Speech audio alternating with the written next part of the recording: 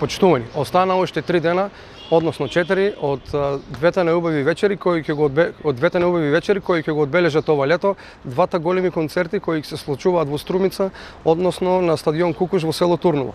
На 28 јули четврток ни гостува српската и балканската фолк дива, неповторливата Светлана, Светлана Цеца Ражнатовиќ, дорека наредниот ден, 29 јули петок, ни гостува кралок на фолк музиката, кој за прв пат во Македонија ќе одржи свој солистички концерт, тоа е Шаван Шаулич.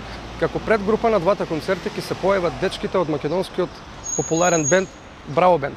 Како дел од тимот на како дел од тимот на менеджерскиот тим на клуб Платинум и организациониот тим на овие два големи концерти, сакам да информирам јавноста дека се преземени сите безбедносни и сигурносни мерки за двата концерти да се одвиваат непречено. Обезбедени се над 35.000 метри квадратни површина за паркинг простор и тоа магазин Иво, бензин, плацот на бензинската станица во село Турново, плацот на училишниот двор во село Турново, веднаш до самиот стадион имаме обезбедено паркинг простор, паркинг простор од 4000 метри квадратни, плацот на здружение на возачите. Со тоа се задоволуваат сите потреби на гостите кои ќе дојдат со своите возила и ќе можат непречено да се паркираат.